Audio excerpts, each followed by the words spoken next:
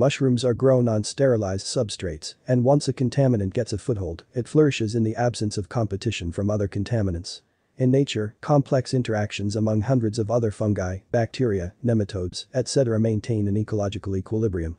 In a sterilized medium, the grower provides ideal conditions for the contaminant to prosper. In sawdust bags, contamination usually involves another fungus living off the waste products or on the remains of the cultivated fungus, or sometimes on the living mycelium or fruiting body of the cultivated fungus. The only competition for these contaminants is the cultivated fungus itself. The most common type of mushroom contamination. Wet spot. Sour rot Bacillus sp. In grain spawn jars, one commonly encounters bacillus, which sometimes survives the sterilization process as heat-resistant endospores. A dull grey to mucus-like brownish slime, characterized by a strong but foul odor, variously described as smelling like rotting apples, dirty socks or burnt bacon. Bacillus makes uncolonized grain appear excessively wet, hence the name wet spot. Pallid to whitish ridges along the margins of individual grain kernels characterize this contaminant.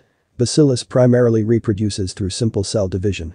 In times of adverse environmental conditions, especially heat, a single hardened spore forms within each parent cell body bacterial endospores, which can survive high temperatures for prolonged time. The most practical method for eliminating bacterial endospores involves soaking the grain at room temperature 12 to 24 hours prior to sterilization. Endospores, if viable, will germinate within that time frame and then be susceptible to standard sterilization procedures. New endospores won't form in the moist environment of the resting jar of grain. Bacterial blotch, Pseudomonas tolaasii, P. fluorescens. Yellow to brown lesions form on mushrooms. Typically, spotting occurs at or near the edge of mushroom caps. Blotch occurs when mushrooms remain wet for a period of 4 to 6 hours or longer after water has been applied. The bacterium is spread in airborne soil particles. Controls include lowering humidity and watering with a 150 ppm chlorine solution. Calcium hypochlorite products are used, since sodium hypochlorite products may burn caps.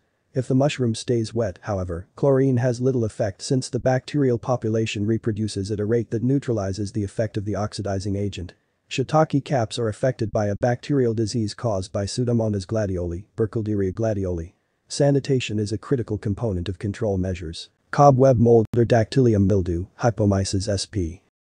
A cottony mycelium grows over casing. When it contacts a mushroom, the mycelium soon envelopes the mushroom with a soft mildewy mycelium and causes a soft rot. It is also a parasite of wild mushrooms.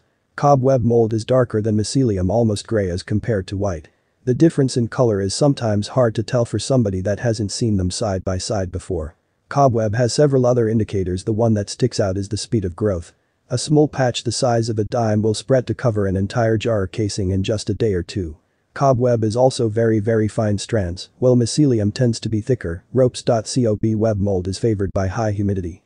Control strategies include lowering humidity and increasing air circulation. Green mold.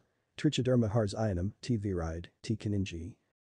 Green mold caused by Trichoderma harzianum is characterized by an aggressive white mycelium that grows over the casing and onto mushrooms, causing a soft decay. Masses of spores that eventually form are emerald green. Heavily infested patches of compost are barren. This is currently the most important disease in the US agaricus industry. Many farms spread salt on the compost in affected areas. Cinnamon brown mold, Chromelosporium fulva, Peziza ostracoderma. The color of this mold ranges from yellow gold to golden brown to cinnamon brown. It grows rapidly in circular patches. It is very common in soil and flourishes on damp wood. Areas in compost overheated during spawn run may be colonized. Improperly conditioned compost will also support growth, but it is most commonly known as a recolonizer of overly pasteurized casing, possibly living on dead microorganisms. It often occurs on sterilized soil. Sexual fruiting bodies may appear several weeks after the first appearance of the mold. This spores are airborne. Lipstick mold, Sporendonema purpurascens, Geotrichum candidum. This fungus colonizes composter casing. As spores mature, the color of the mold changes from white to pink to cherry red and finally to dull orange. It is slow growing. Spores spread in air, during watering, and on pickers. The lipstick mold utilizes certain fats in the compost. It is an uncommon problem. Control is centered around sanitation.